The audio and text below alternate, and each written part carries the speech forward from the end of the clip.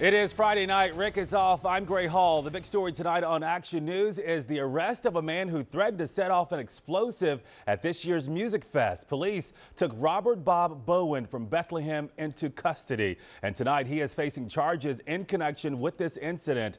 The arrest did not delay the start of the opening weekend of Musikfest in Bethlehem tonight. It is now in its 40th year. The pop band Walk the Moon was tonight's headliner. The festival runs through August 13th.